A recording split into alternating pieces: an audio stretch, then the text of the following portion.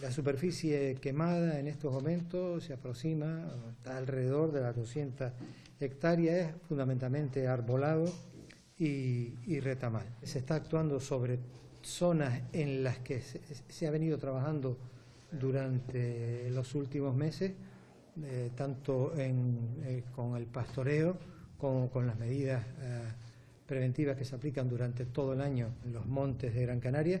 Eso ha hecho que probablemente el fuego haya tenido uh, menor intensidad. La evolución puede llevar a eh, peligrar los, los, riscos de la zona que va hacia Camareta de San Mateo y, la, y Valsequillo. Tampoco hay que, hay que alarmar a la población, ¿vale? Se, se, advertirá con tiempo suficiente en caso de que fuera necesario. Ahora mismo no es necesario porque, insisto, estamos actuando sobre el flanco izquierdo para evitar que bajen las llamas hacia esa zona. Los datos nos, nos hacen ser optimistas, aunque saben también que en cualquier momento se puede producir una circunstancia distintas que precipiten otro tipo de situaciones. Esperemos que con la contundencia de los medios que tengamos ahora podamos avanzar en esa estabilización, pero no podemos asegurar nada.